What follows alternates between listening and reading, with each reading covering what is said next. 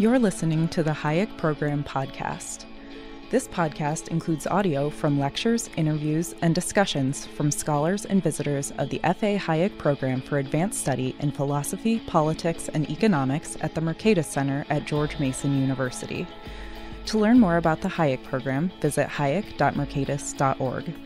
To learn about graduate student fellowship opportunities with the Mercatus Center at George Mason University for students at Mason as well as at universities across the globe, please visit students.mercatus.org. Welcome to the Hayek Program podcast.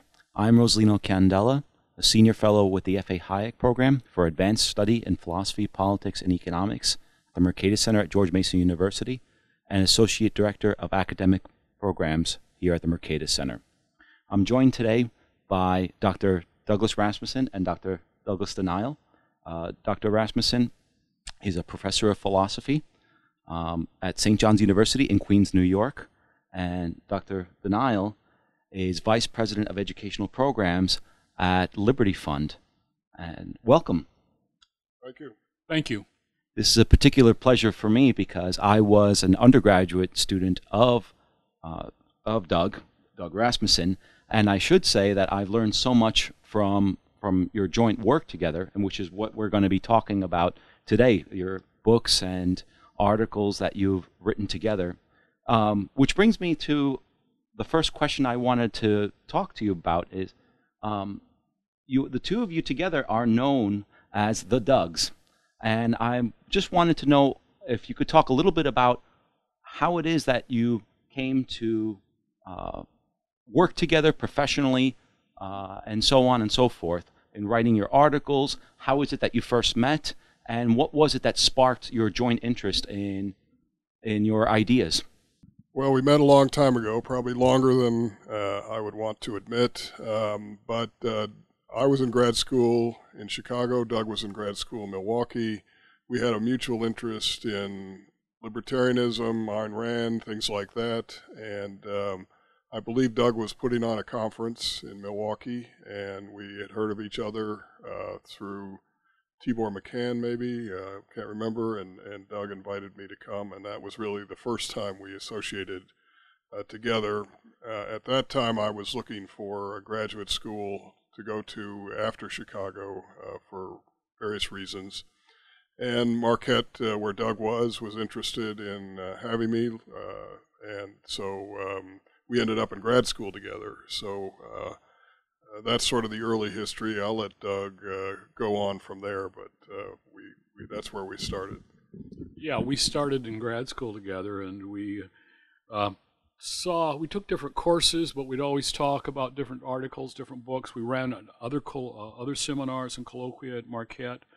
We also did some seminars and colloquia in in Michigan near Doug's uh, summer home at that time. Uh, we had people like John Hospers uh, participate in these, and a lot of other current uh, sort of philosophical economic libertarians. Uh, Gene Smiley, some of you may, may know, was at that time at Marquette University. Uh, he would participate, and there, were, there was a, quite a group of people. we started writing together when we saw an article in the University of Southern California Journal, The Personalist, um, and an article was written by Robert Nozick, and the title of the article was On the Randian Argument. And we thought that Nozick uh, had, of course, written a very good article, and he was critical of Rand, but we also thought that the article showed an insufficient appreciation for how an Aristotelian would think about ethics. And we proceeded to write an article called Nozick on the Randian argument, where we uh, begged to differ with uh, Professor Nozick on certain things, and it, it, it, we succeeded. And uh, from that, we went on to uh, do other things. I think our first book we did together was the, a book called The Philosophic Thought of Ayn Rand, which was not meant to be uh, something that would just praise Rand, but something that would critically but fairly consider her arguments and we had uh, an array of people from people like uh, Wallace Matson from University of California, Berkeley, who was quite a philosopher, to the English philosopher Antony Flew. Uh, people like Eric Mack uh, and uh, Tibor Machan participated, and, and, and, there were others.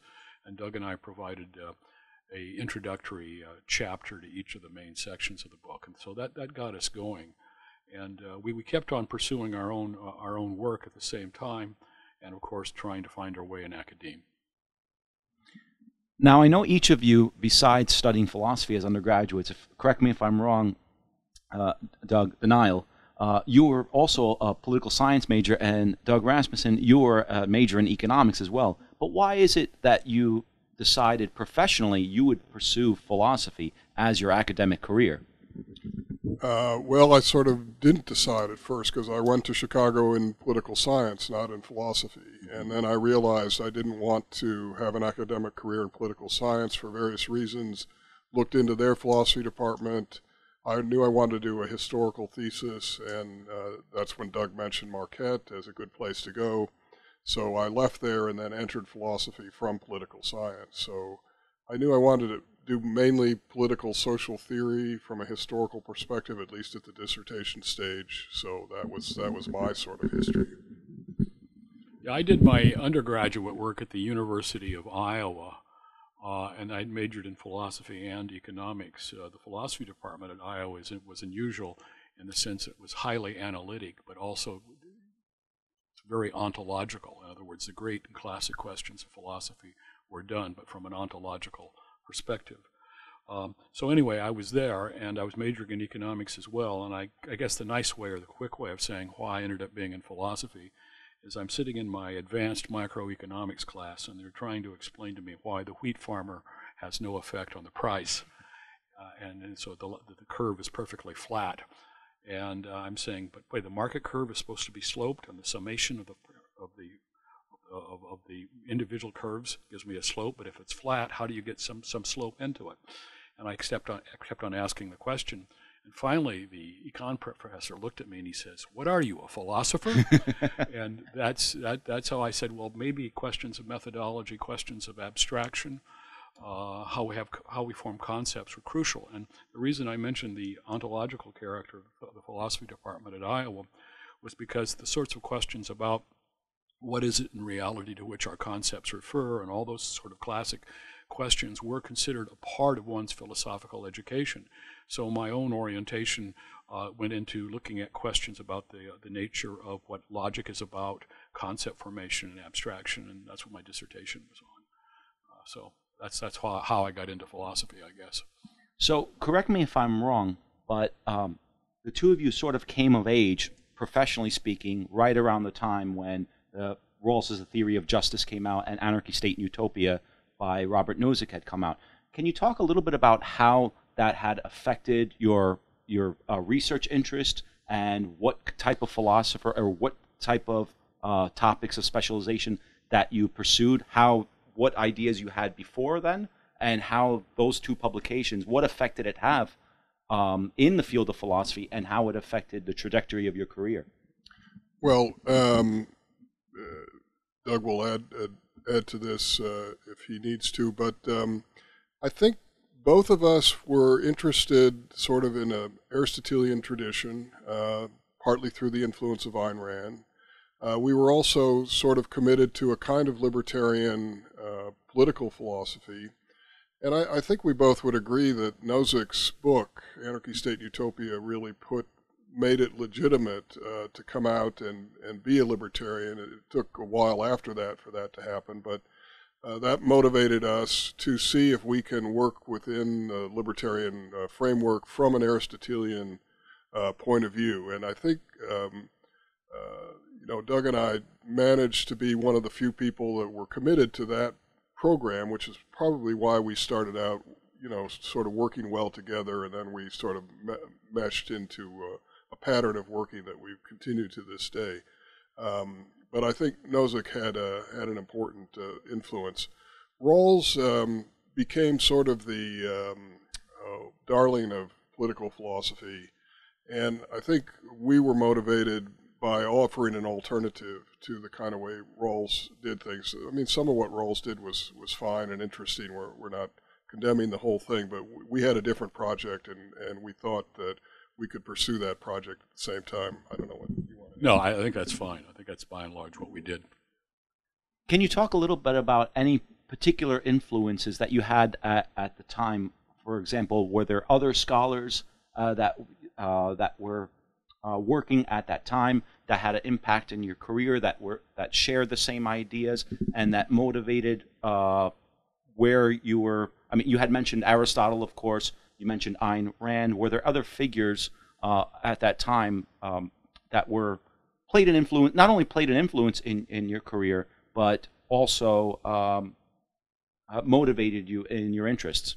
Well, uh, we certainly have to say that the Aristotelian, neo-Aristotelian philosopher Henry Babcock Veatch made a tremendous difference to how we would approach ethics and even how we would understand Aristotelian ethics.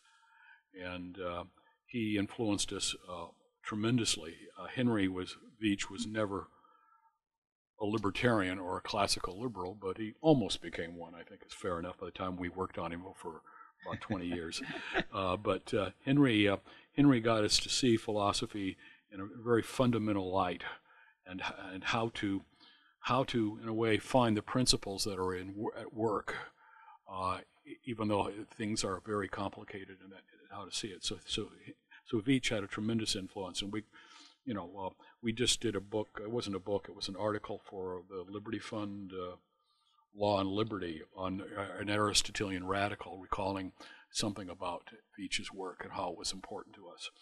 Uh, a little bit later along the way, uh, there was a guy that wrote a book called Personal Destinies. His name was David Norton, and I'll let Doug say something about how important David Norton was.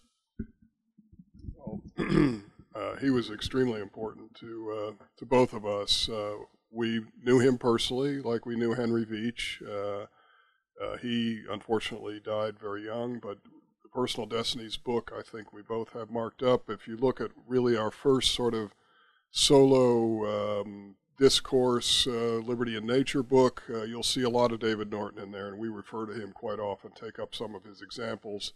I think he opened us to really understanding Aristotelianism uh, in a sort of non-analytic way. Uh, I think he brought brought home to us um, kind of Aristotelianism that I think is more true to Aristotle than what you got quite often from analytic philosophers. And in that regard, he's really very fundamental, I think, to uh, to what we've uh, what we've done over the years. Um, one other thing about Henry, I think uh, he was a gracious man to the two of us. Uh, we would be at conferences and uh, we were just grad students and he'd hang out with us as opposed to other faculty members and so forth. So really uh, that sort of attention really helps develop relationships and he was a remarkable man, I think we both would agree. All right, so I want to just switch gears a little bit and talk a little bit about the joint work that you've done together. Uh, but before we delve into the details of literally over three decades of published work you've done together, a series of articles, books, Liberty and Nature, Liberalism Defended, Norms of Liberty, The Perfectionist Turn, and what we'll talk about in a moment, uh, your next book, The Realist Turn. Uh, but just very briefly, can you talk a little bit about how you understand political, not only political philosophy, but classical liberalism? I, I oftentimes hear classical liberalism as a as a worldview, as an ethics, as a political philosophy. Uh, can you talk a little bit about that? Well, one of the first things we say about this is, of course, is that classical liberalism is a political philosophy. Uh, it's not a metaphysics. It's not a worldview. Uh, it's not even an ethics. Uh, it's a question about uh, what uh, ought to be the aim of the political legal order and what is the nature of the connection between the ethical order and the political legal order, and it has certain theories about that. Now, the type of classical liberalism that Doug and I are interested in primarily is, of course, a, a classical liberalism that flows from a understanding of the individual human being having the natural rights, negative basic natural rights to life, liberty, and property. And these are principles uh, that set the context in which people might have the possibility of pursuing a worthwhile life, and that this this this, this type of this type of politics is radically different from the types of politics that we see prior to modernity. Um, I, those people who have looked at some of the stuff that Doug and I have written, they probably know the phrase uh, we, we, like to say that statecraft is not soulcraft that the purpose of the political legal order is, is not uh, to make us moral, whether that is to be understood in a left wing or a right wing or whatever manner it is. And that, so there's something unique about the classical liberal tradition. Not that the classical liberal tradition always understood this or always got it coherently uh, addressed, but that, that's, that, that's how I think we, we approach classical liberalism and why we think it's important. Yeah, I don't have anything to add to that. I think it's a pretty good summary of what, what we're all about. Great. Can you talk a little bit about your current book project that you're work, working on together? And more importantly, how is it that the current questions that you're dealing with in that book, how did it how did that evolve from the previous works that you had done together? I had mentioned the books that had you had co-authored together. What was it that in the evolution of the the statement of the principles that you are outlined all the way back going from the philosophic thought of Ayn Rand to liberty and nature. How is it that the, the questions that you're ta- that you're want that you're picking up on in the realist turn, how did they evolve from those previous projects? Well, it probably will surprise a lot of people. There's an Aristotelian phrase that first in the order of knowledge, last in the order of being. Doug and I have always been interested in the metaphysics and epistemology of the Aristotelian tradition.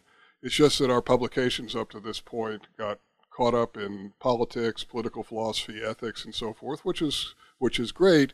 But in the back of our minds, I think for probably since we started working together, this was the book we were working towards in a way. We wanted to have uh, get to this point where we felt comfortable enough to try to show the connections between uh, the stuff we had done earlier and, and why this basic background is is necessary for uh, so we're, we're finally getting to the order of being, if you will, uh, in terms of the, what we think is fundamental uh, sure.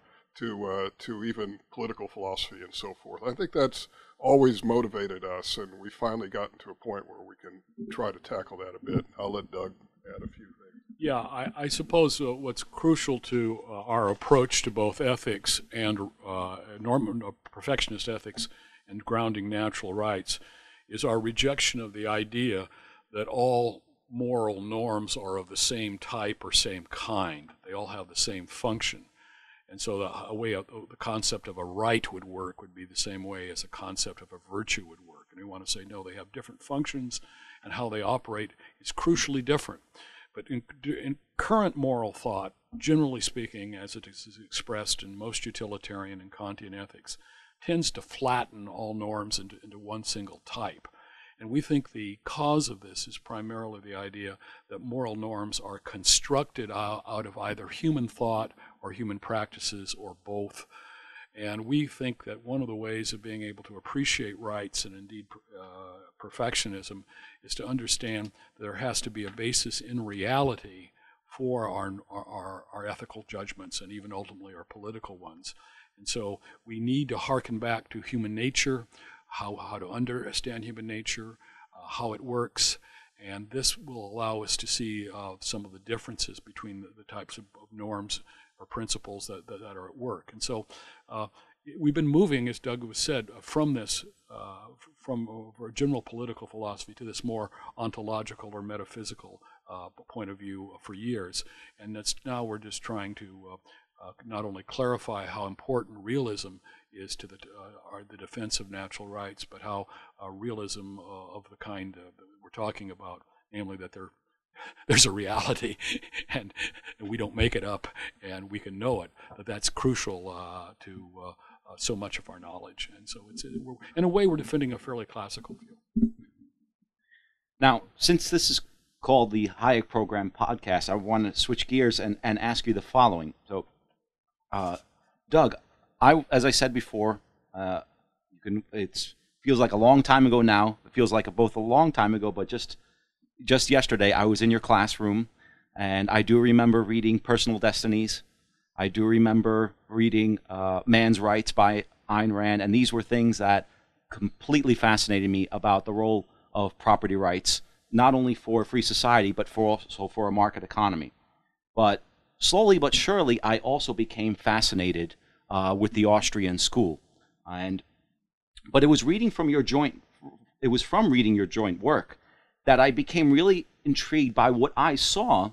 What I saw, I don't know if this is the case, but hopefully you could shed some light on parallel insights that we see in the Aristotelian ethical tradition and the Austrian tradition of seeing the market as a process of entrepreneurial discovery. And what overlap, if any, do you think exists between those two traditions? Do they mutually reinforce each other, and can they learn from each other? Uh, I think they uh, are not necessarily in conflict, and I think they can be mutually supportive.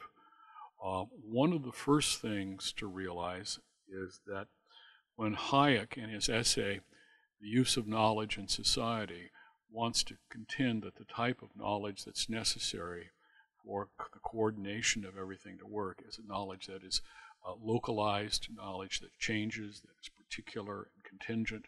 That type of knowledge is crucial for the mar- for markets to work.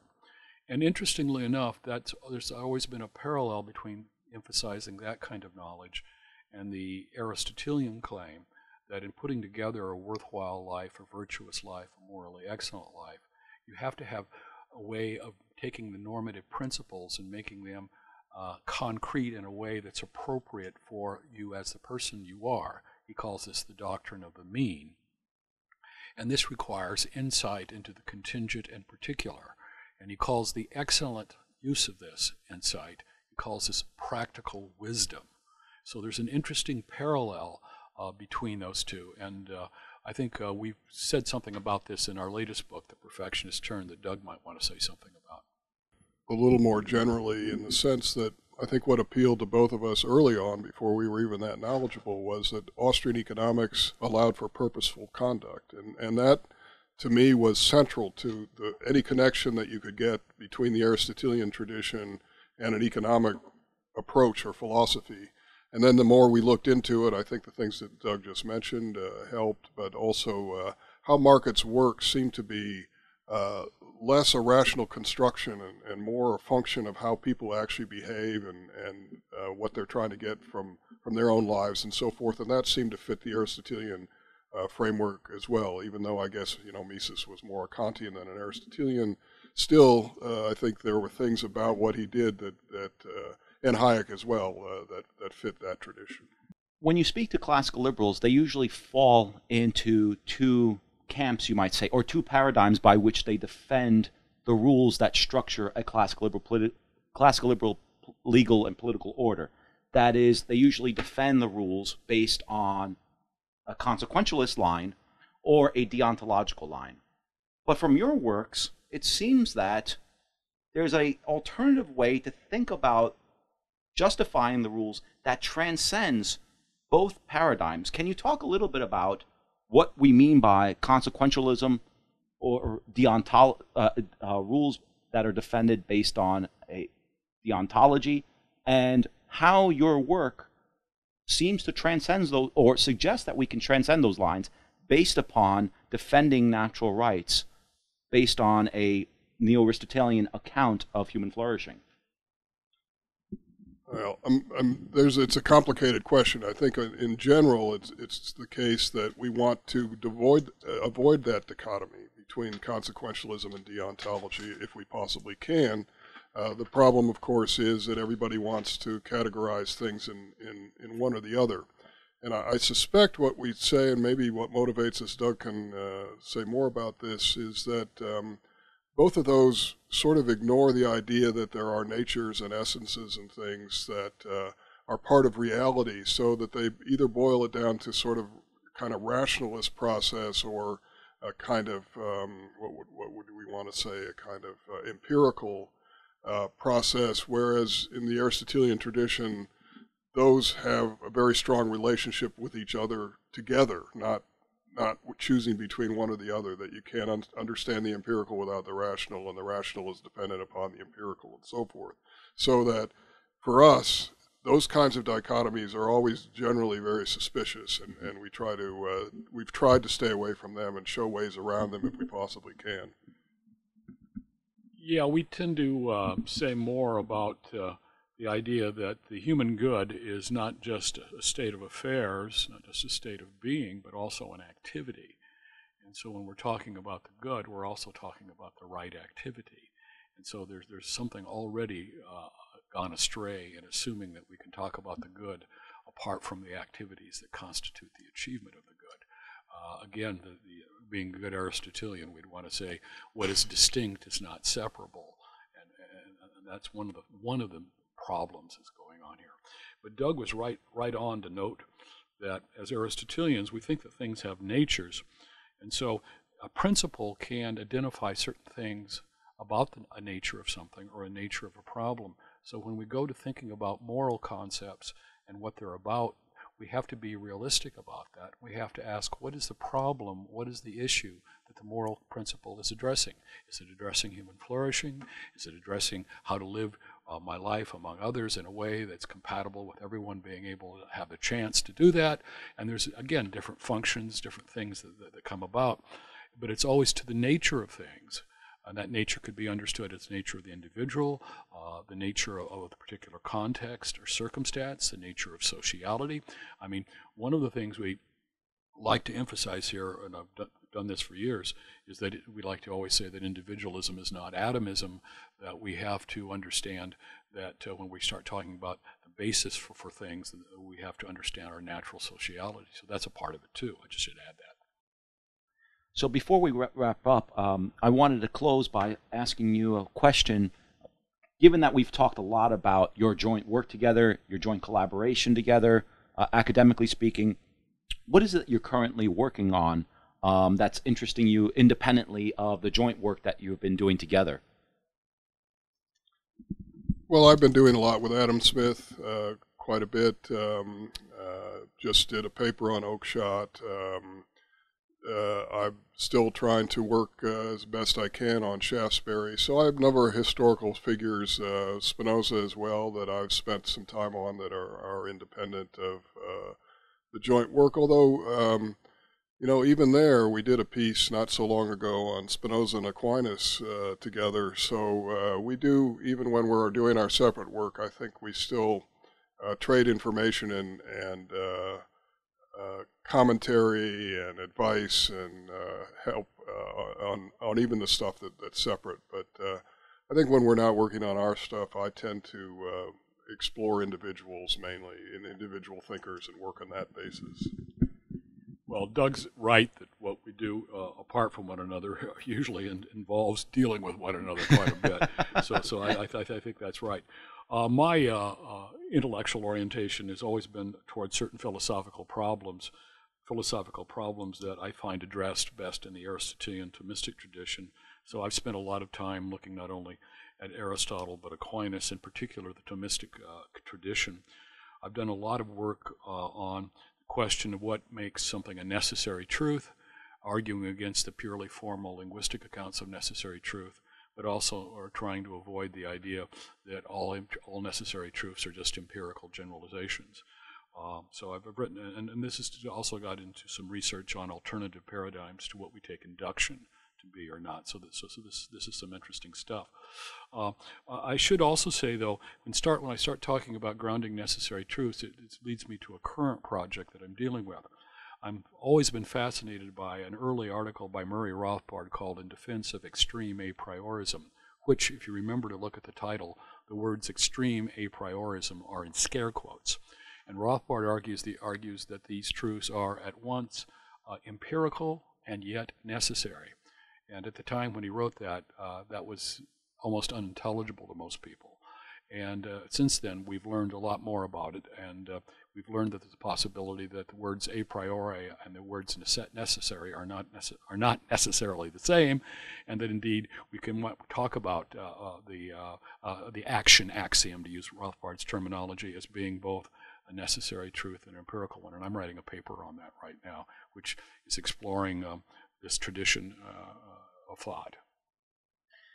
Well, I want to thank you very much for your time. This been, it's been a great conversation. It's been a great privilege for me to be able to talk to the both of you. And I want to thank uh, those of you listening for joining us in this Hayek Program podcast.